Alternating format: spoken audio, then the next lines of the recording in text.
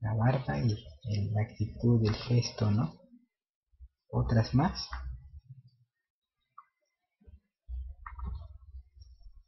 Y bien, desde San José Mogote, Monte Albán y otras piezas ¿no? que se han eh, descubierto.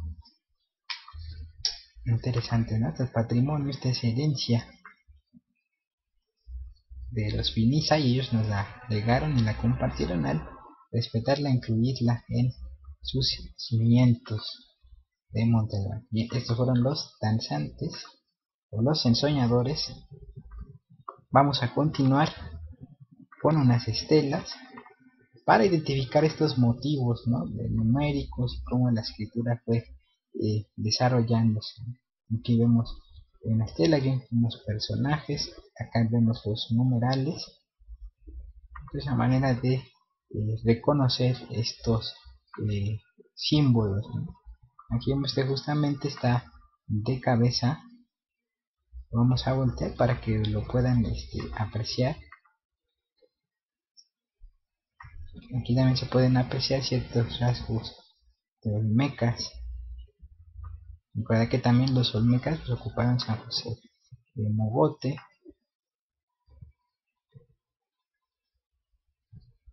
¿Y qué tal estas representaciones? ¿no? Ya está la estela, acá la reconstrucción, aprecien el detalle de las garras, ¿no? Que también es destacado, las pausas, impresionante pieza. Aquí ya se puede apreciar este estilo eh, ya caracterizado por los Vinisa, también con cierta influencia teotihuacana, ya que también Teotihuacán se extendió hacia estos territorios y más allá, ¿no? Hasta la zona maya. Aquí vemos el personaje expresándose, aquí vemos los numerales nuevamente, la boca del eh, inframundo. Otra vez estos motivos, ¿no? Que son eh, importantes, destacados. Y otras escenas más. Estas son de Dainzú, que también tuvimos la oportunidad de recorrer en nuestra misión número 3. Que son piezas asombrosas, destacadas por su pieza, por su trabajo, perdón. Hasta estas representaciones, este piedra de misca, caliza, basalto, que, que fueron trabajos eh, destacados, los que realizaron nuestros ancestros Vinisa allá en tierras de Oaxaca. Aquí vemos representación de un señor zapoteco llamado Once Lluvia, como un jaguar parado sobre el signo de la tierra. ¿Dónde está el, el once? 11 lluvia aquí podemos identificar numeral 13 acá está el 11 acá perdón aquí vamos un numeral 13 este es otro contexto aquí está 10 11 aquí está lluvia y aquí está el señor con esos atributos y acá el símbolo de la tierra interesante Aquí podemos apreciar también estos esquemas. Aquí hay unas manos, acá hay dos barras, un 10. Presionaba y este esquema ¿no? de los cuatro rumbos y el centro. Acá otras estelas, este también ya parece maya, ¿no? Con esta influencia. Vemos el monkey, el mono, la bolsa, el grifo de la sangre así identificado. Esta es de otra zona arqueológica, la vemos es tumba Jamba 5 de la tumba 1 de San Lázaro Itla, de acá, de Santa María Sola de la Vega. John Paddock, aquí toma esta mitla, o sea, la mitla.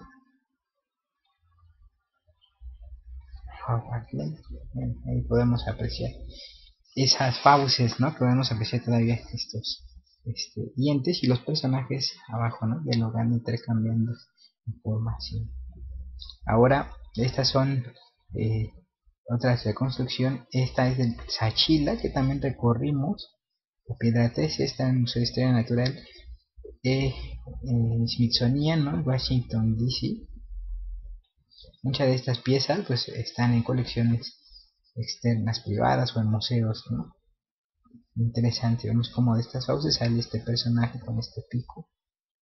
Wow, impresionante. Estas son estelas, ¿no? Estelas de Vinisa o zapotecas. Lambitieco, que también tuvimos oportunidad de recorrer en nuestra tercera emisión. Y aquí esta otra estela, ¿no? También de Lambitieco. Otras eh, estelas más de Dainzú. Vaya, ¿no? Impresionante. Esta otra también este de Mitla de la colección Nate vaya que es muy rico eh, el, simbolismo y las representaciones que hay aquí con los Vinisa ese intercambio que impresionante. Muy bien pues con esto concluimos este recorrido por algunas de las estelas más impresionantes eh, zapotecas y vemos los numerales y los gestos de cada uno de estos personajes también. Y aquí interesante ¿no? este glifo de la ventana vamos a ampliarlo para verlo y continuar. Aquí está el de la ventana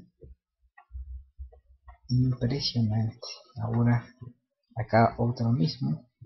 El numeral 11 esto está Chiapas no recuerda que hasta allá llegaba la influencia de los Vinisa como también tuvimos oportunidad en los primeros programas ¿no? de hacer estos viajes por Tehuantepec hasta allá llegaron los zapotecas ¿no? hasta este territorio sagrado Tecuanitepec la montaña de los de las fieras ¿no? así conocido en lengua náhuatl. Ahora vamos a ver unas figurillas eh, que nos mostrarán la belleza de este, todo este simbolismo de esta cultura eh, ancestral vinisa, donde podemos apreciar esta expresividad hechas en, barro, en terracota, eh, barro cocido, en estos hornos que también tuvimos oportunidad de conocer en el caso de Atzompa, cuál la sombra que todavía en la época contemporánea estos hornos pues sigan usándose prácticamente de la misma eh, de la misma forma, ¿no? Aquí vaya el personaje dándose cuenta, ¿no? Con esta eh, con esa gesticulación, ese vectoral, Impresionante. Hasta estas imágenes de la ciguateteo, ¿no? Que también se, se que aquí están cantando. Y de hecho las iguas de Teos hacían estos cánticos para conectarse con lo divino. Y estos personajes también.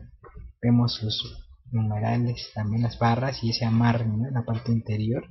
Otra vez las barras, aquí están 13. la representación en esta en especial nos permite apreciar como justamente el amarillo es el color del este, básico del barro sin embargo estaba cubierto con pigmento, ¿no? Se puede apreciar ahí todavía los residuos del rojo y del negro, del lili y la pali, ¿no? Aquí pues, se alcanza a ver en el rostro, ¿no? Este pigmento rojo, las manos, las piernas, todavía se conservó un poco mejor, ¿no? Otras iguateteo, también que se cubren con chapopote, ¿no?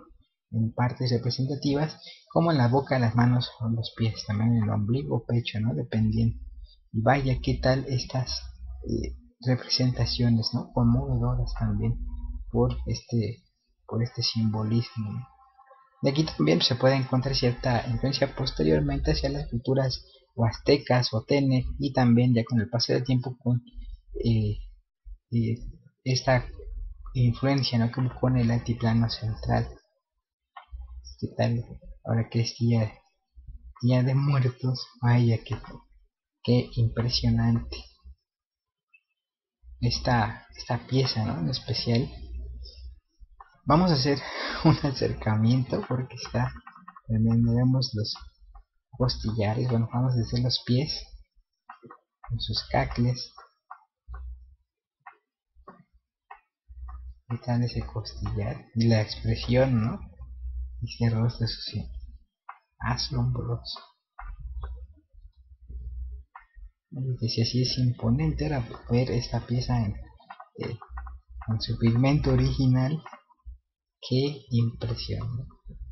Realmente eh, estas piezas tienen esa capacidad de conectarnos ¿no? con lo profundo de eh, la cosmovisión anahuaca, ¿no?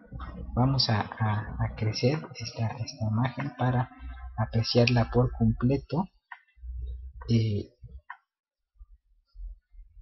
¿A qué nos invita esta pieza? ¿no? ¿Cuál es la intención eh, del arte en, general? Nos habla de trascender estas barreras de la percepción. Ahora vemos esta, esta pieza que también eh,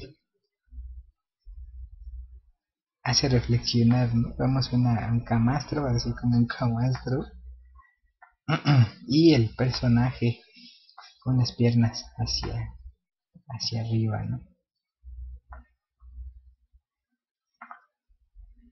¿Qué tal estas piezas de probablemente sea un jugador de pelota por el protector aunque pues habría que, ver este